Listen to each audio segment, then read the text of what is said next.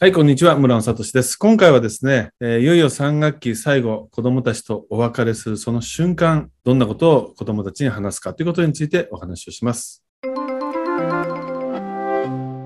修了式、そして卒業式の後、えー担任として最後の語りを子供たちにする先生は多いと思います。私はね、そこであまりこう、特別なことはしないようにしてきたんですが、まあでも最後、子供たちに何かメッセージは伝えたいなと思って、えーまあ、間違えて言わないようにですね、えいつも最後の学級通信にその文章を書いて、で、それを読み上げてました。読み上げるというより、まあ、それを見ながら、できるだけね、子供たちに語るような形で伝えてきました。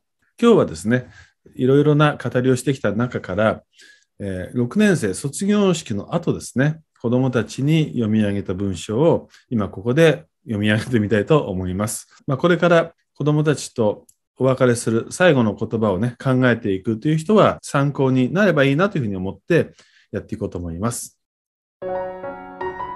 卒業おめでとう。皆さんは本当に立派な6年生でした。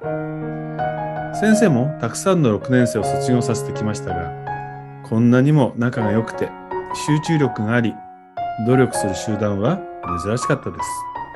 2年前、初めて出席を取った日のことが懐かしく思い出されます。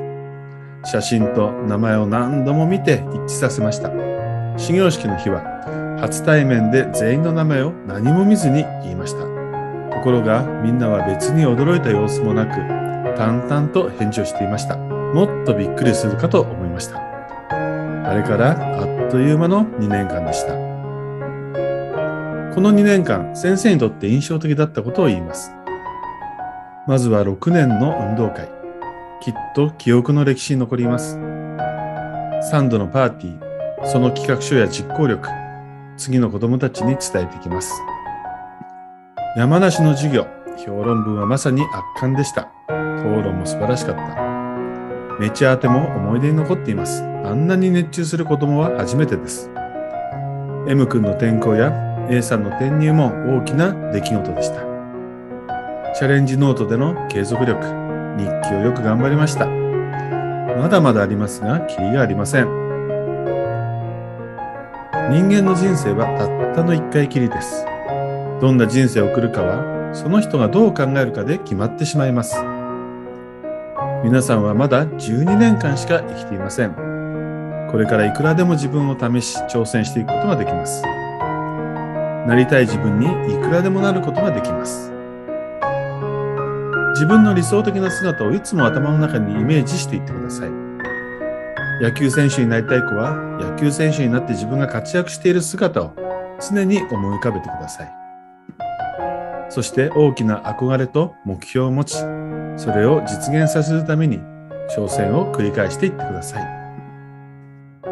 成功に失敗はつきものです。失敗して当然です。失敗したら閉めたと思ってください。失敗はいろいろなことを皆さんに教えてくれます。一番良くないのは失敗を恐れて挑戦しないことです。そういう人間だけにはならないでほしい。失敗を楽しめるような人が夢を実現させることのできる人だと思います。夢を実現し幸せな人生を送ってください。皆さんは今日で卒業していきますが、今日を最後にもう小学校でのことはきれいさっぱり忘れてしまってください。これからの中学校での生活をしっかりイメージしてください。そしてぜひ新しい自分に変身してください。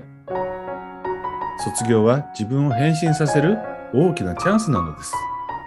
常にプラス思考で前向きに生きていってください。人を恨むよりその人の良さを見つけられる人になってください。6年2組の皆さんは一人一人が個性的であり、それぞれがそれぞれの力を持っていました。そんな皆さんと共に学習をしてきた先生にとっても楽しい2年間でした。中学校での活躍を小学校から期待しています。卒業おめでとう。さようなら。まあこんな風にですね、語ったんですね。なんかちょっと照れくさいですね、読んでみると。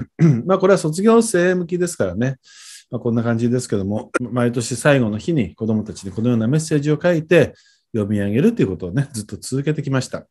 まあ、これ学級通信にはこの後保護者宛てにも少しね、言葉が入るんですけども、まあ、今回は子供向けということで紹介してみました。まあ、どこか使えそうなフレーズがあったら、ぜひ使ってほしいなと思います。はい。ではまた次の動画でお会いしましょう。さよなら。